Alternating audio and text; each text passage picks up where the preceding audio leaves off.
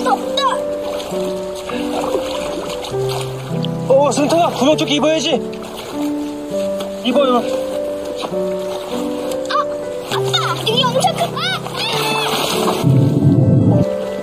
아. 수정아!